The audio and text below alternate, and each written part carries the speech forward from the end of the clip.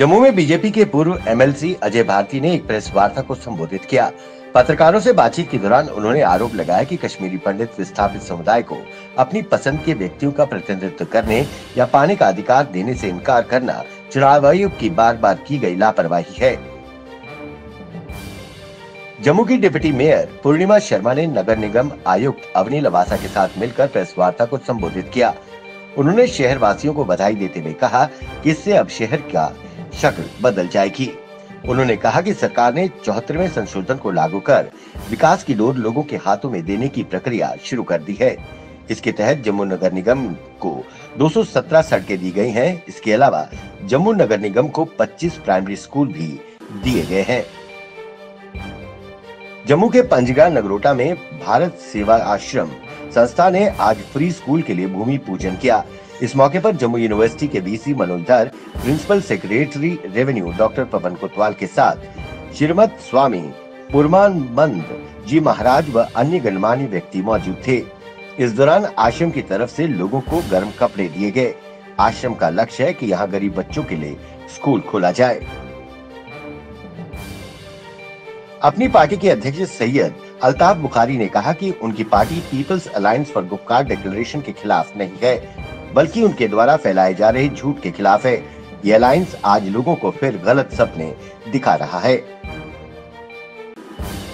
Delhi Meerut expressway की कुल लंबाई 60 किलोमीटर है और ये चार खंडों में बटा हुआ है। लेकिन दिल्ली और यूपी के टू व्हीलर चालकों के लिए बुरी खबर है। वो इस एक्सप्रेसवे पर सफ़र नहीं कर सकेंगे। इस एक्सप्रेसवे पर दो पहिया वाहन के प्रवेश पर पाबंदी है।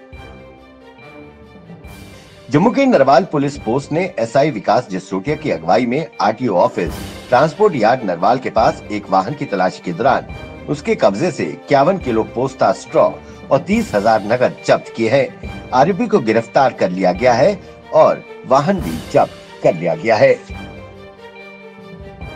कश्मीर संभाग के दक्षिणी कश्मीर के अवंतीपुरा में विक्टर फोर्स ने गुलिस्तान इंस्टीट्यूट के सौजन्य से अलाव शीर्षक के तहत एक सांस्कृतिक कार्यक्रम का आयोजन किया।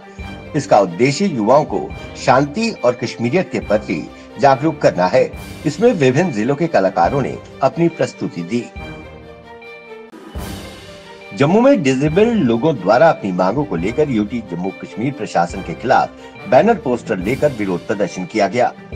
उन्होंने कहा, हम अपना बैकलॉग कोटा मांग रहे हैं। जो सुप्रीम कोर्ट के ऑर्डर के बाद क्रिएट हुआ है।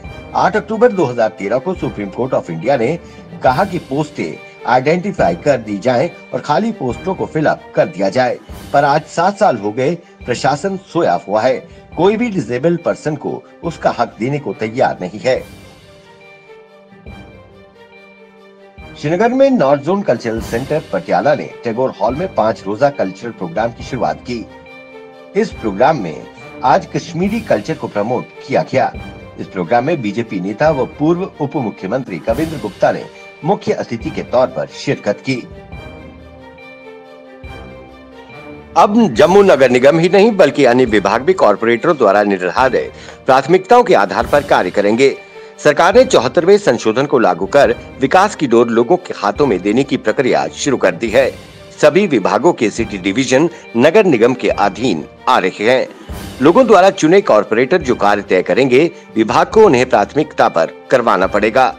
इससे शहर का कोई भी क्षेत्र अछूता नहीं रह जाएगा, क्योंकि कॉरपोरेटर मोहल्लों की हर छोटी बड़ी समस्या से वाकिफ होते हैं। कश्मीर घाटी में बर्फबारी शुरू हो गई है। आतंकवादियों ने भी भारतीय सीमा में घुसपैठ के प्रयास तेज कर दिए हैं। भारतीय सीमा की सुरक्षा पे तैनात जवान बर्फबारी के बीच पूरी सतर्कता बरते हुए हैं। गत रविवार सोमवार की मध्यरात्रि को उत्तरी कश्मीर के जिला कुपवाड़ा में नियंत्रण रेखा से सटे मचेल सेक्टर में बर्फबारी के बीच घुसपैठ का प्रयास कर रहे आतंकवादियों को बीएसएफ के जवानों ने गोलीबारी कर खदेड़ दिया। वहीं रात से हो रही बर्फबारी सर्च ऑपरेशन में बाधा डाल रखी है। श्रीनगर के ऊंचाई वाले इलाकों में देर रात शुरू हुई बर्फबारी के बाद घाटी को कड़ाके की ठंड ने जकड़ लिया है। मौसम विभाग ने अगले तीन दिनों तक कश्मीर व लद्दाख के पहाड़ी इलाकों में भारी बर्फबारी, जबकि जम्मू संभाग के मैदानी इलाकों में हल्की बारिश होने की संभावना जताई है। सुबह से ही मौसम विभाग ने भविष्यवाणी की थी, उसका असर दिखना शुरू हो गया है।